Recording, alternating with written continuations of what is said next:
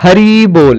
तो यहाँ से मेरे दिन की शुरुआत होती है, जहाँ पे मैं कोशिश करता हूँ ब्रह्म मुहूर्त में उठने की, जिसका समय सवा चार से साढ़े पाँच के बीच में होता है लगभग।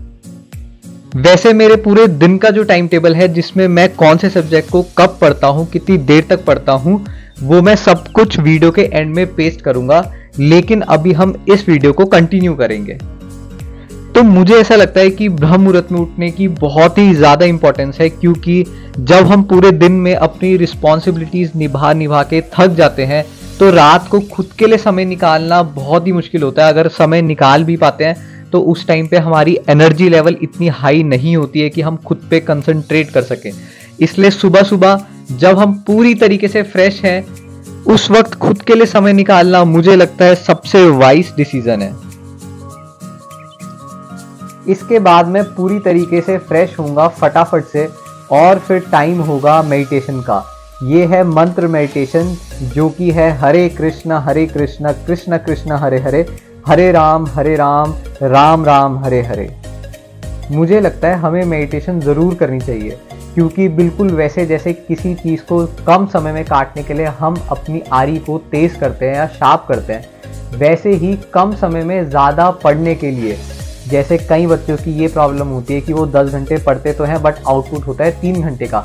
तो इसी आउटपुट को बढ़ाने के लिए हेल्प करती है मेडिटेशन अब सवाल ये हो सकता है कि भगवान के नाम की मेडिटेशन ही क्यों? तो देखो बड़े बड़े संत और योगियों ने ये बात कही है कि भगवान के नाम से बड़ी और कोई चीज़ नहीं है, और दुनिया में ऐसी कोई चीज़ नहीं है जो भगवान के केवल नाम लेने मात्र से ही पूरी ना हो जाए।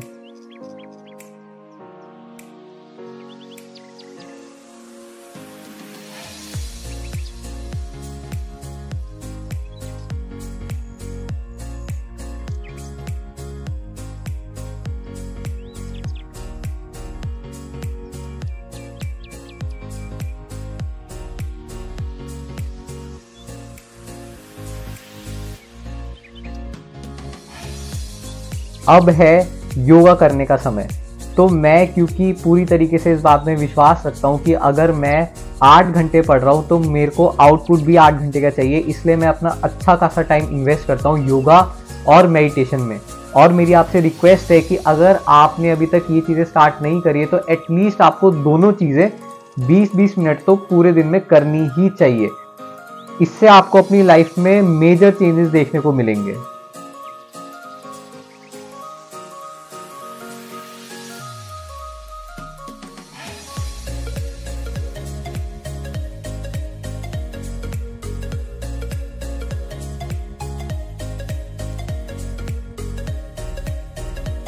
अब समय है आरती का। आरती हम इसलिए करते हैं ताकि हम भगवान की क्वालिटीज को सिंग कर सकें, उन्हें प्लीज़ कर सकें और उनकी ब्लेसिंग्स को सीख कर सकें।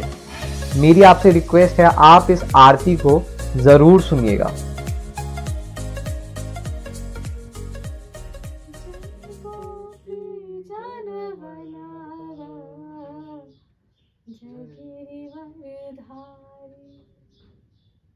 जया गोपी जनवाला जया गिरिवरधारी जय राधा माधव।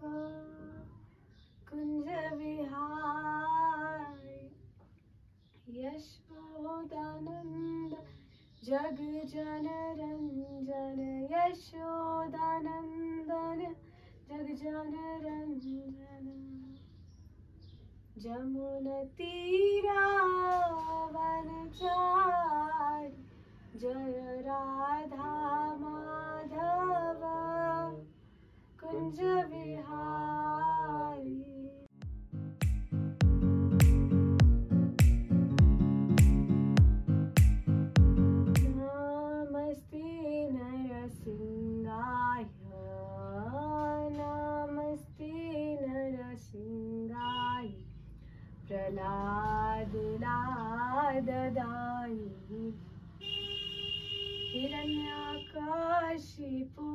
हिरण्याकाशिपूर्वक्षः शिलाटङ्कानखालायि इतो नरसिंहा परितो नरसिंह यतो यतो यामि ततो नरसिंह।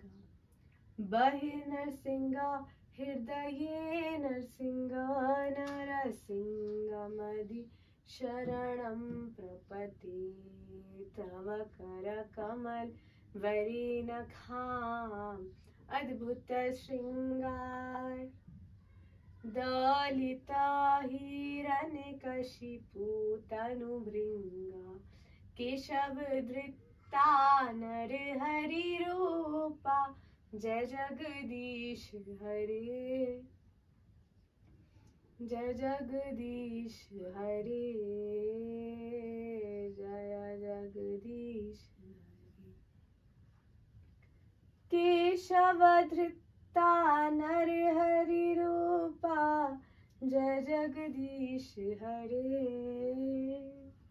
जय जगदीश हरे। जय जगदीश हरे।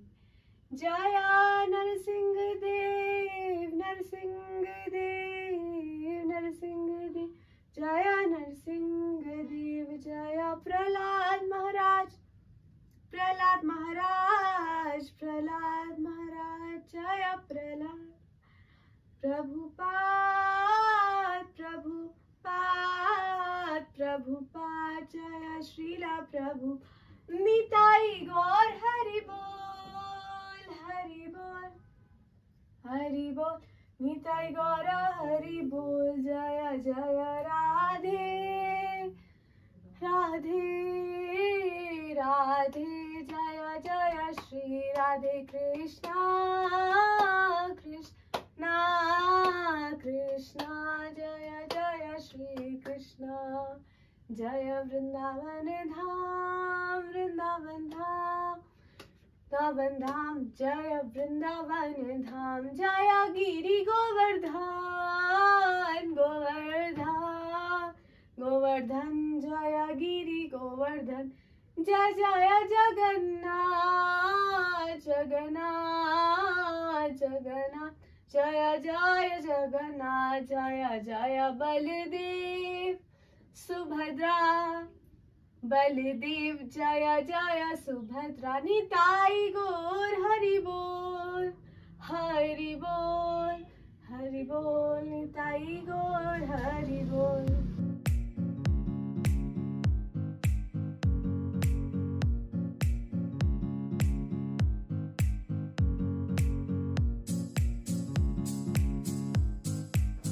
तो अब फ्रूट्स खाने के बाद मैं अपने जीके और करंट अफेयर्स के नोट्स बनाता हूँ और उनको खुले आसमान के नीचे रिवाइज करता हूँ।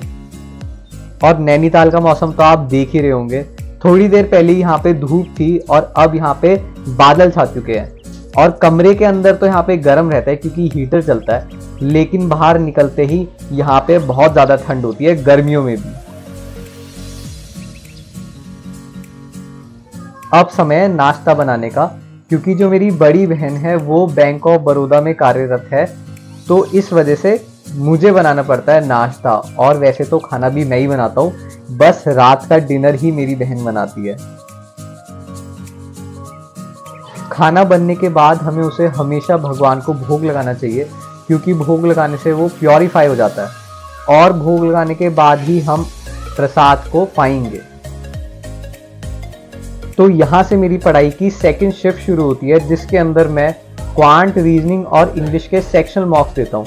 और फिर उसको एनालाइज करने का तरीका ये होता है कि हर सेक्शनल मॉक के बाद मैंने जो क्वेश्चन गलत किया है, उस कंसेप्ट को मैं बहुत ही अच्छे से अपने नोट्स या फिर बुक्स के थ्रू पढ़ूँ और रिवाइज करूँ, ताकि अगली बार जब उस टाइप का क्वेश्चन आए तो वो मेरे से गलत ना हो और ना ही मेरा उसमें टाइम वेस्ट हो।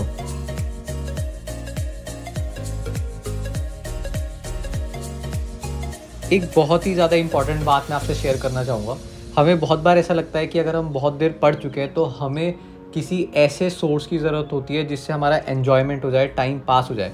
उस चक्कर में हम यूट्यूब पे काफ़ी सारा ऐसा कंटेंट कंज्यूम कर लेते हैं जिससे हमारा माइंड काम तो नहीं होता बट वो और ज़्यादा हाइपर हो जाता है। तो इसलिए मैं हमेशा प्रेफर करता हूँ कि पढ़ाई से ब्रेक लेने के बाद मैं कुछ स्पिरिचुअल बुक्स पढूं जिससे मुझे काफ़ी कुछ अच्छी चीज़ें जानने को मिले। और जो अभी बुक मैं पढ़ रहा हूँ, ये राधानाथ महाराज जी की बुक है, उनकी ऑटोबायोग्राफी इसका नाम है द जर्नी होम अब वक्त है मेरी बड़ी बहन का बैंक से घर वापस आने का तो उसके बैंक से घर वापस आने से पहले मुझे लंच प्रिपेयर करके रखना पड़ता है। उसके आने के बाद हम लंच एक साथ खाते हैं और उसके साथ सत्संग सुनते हैं। कुछ ऐसी नई बातें हमें पता चलती है जिनको हम अपनी लाइफ में इम्प्लीमेंट कर सकते हैं और वो हमारी लाइफ में काफ़ी ज़्यादा काम आने वाला है। इसके बाद स्टार्ट होती है मेरी पढ़ाई की दिन की थर्ड शिफ्ट जो कि मेरे दिन की लास्ट सेकंड शिफ्ट भी है। तो इस वाली शिफ्ट में इंग्लिश क्वांट रीजनिंग के जो नए कंसेप्ट होते हैं, उनको मैं खुद से ट्राई करता हूँ, या फिर बुक में जिस तरीके से वो गिवन है, उनको कॉम्प्रीहेंड करने की कोशिश करता हूँ। इस तरह से जो मेरी थर्ड शिफ्ट है वो फिनिश हो जाती है। मैं ये इंश्योर करता हूँ कि सेकंड और थर्ड शिफ्ट में मैंने जो कुछ भी पढ़ा, उसमें जो मोस्ट इंपॉर्टेंट कंसेप्ट हैं, जिनको मैं बुलेट फॉर्म में लिख सकता हूँ, उनको मैं अपनी एक अलग नोटबुक जिसको मैं कंसेप्चुअल नोटबुक भी बोलता हूँ, उसमें राइट डाउन कर सकूँ। जैसे कि मैथ्स में अगर मुझे पता चला कि ये DI इस शॉर्ट तरीके से भी हो सकती है, या फिर इंग्लिश का कोई क्वेश्चन है पर्टिकुलर तो उन कंसेप्ट को मैं उसमें लिख दूँगा और फिर मैं अपने रूम के बाहर जो जगह है, वहाँ जाके इनको रिवाइज करता हूँ खुले आसमान के नीचे।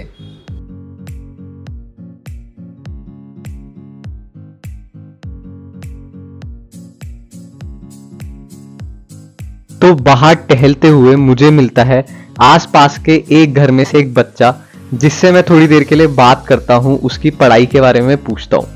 और उससे बात करने के बाद मैं निकल जाता हूँ नीचे के लिए। आपको ये रास्ता नीचे जाते हुए तो काफ़ी अच्छा लग रहा होगा, लेकिन बिलीव मी वापिस आते हुए इस रास्ते पे बैंड बच जाती है।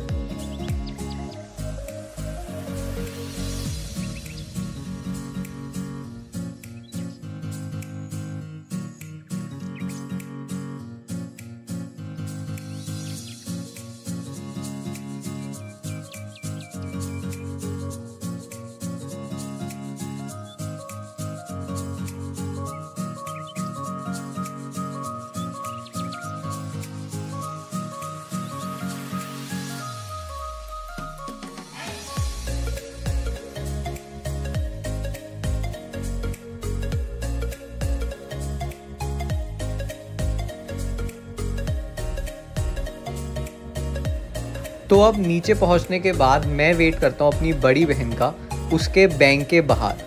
और उसके बाहर आने के बाद हम दोनों जाते हैं सब्ज़ियाँ और फल खरीदने के लिए। वहाँ पे हम थोड़ा घूमते भी हैं और एक काफ़ी सुंदर टेंपल है वहाँ पे, नैना देवी टेंपल वहाँ पे भी अपनी विज़िट पे करते हैं। और फिर मेरे दिन की जो लास्ट शिफ्ट है वो आती है, जिसके अंदर मैं पूरे दिन में जो भी मैंने पढ़ा है, उसमें से जो मोस्ट इंपॉर्टेंट चीज़ें हैं उसको खुद से रिवाइज़ और मेमोराइज़ करने की कोशिश करता हूँ, ताकि मेरा दिमाग थोड़ी मेहनत करे। और क्योंकि उसने मेहनत करी है तो वो उसको ज़्यादा लंबे समय तक रिटेन करके रखे। इसी के साथ मेरी दिनचर्या ख़त्म हो जाती है। मैं थोड़ी देर ध्यान लगा के सो जाता हूँ। भगवान से आशा करता हूँ कि आने वाले समय में जितने भी आपके एग्ज़ाम्स हैं, आप उनमें बहुत ही अच्छा परफॉर्म करें। तो thank you and Hare Krishna.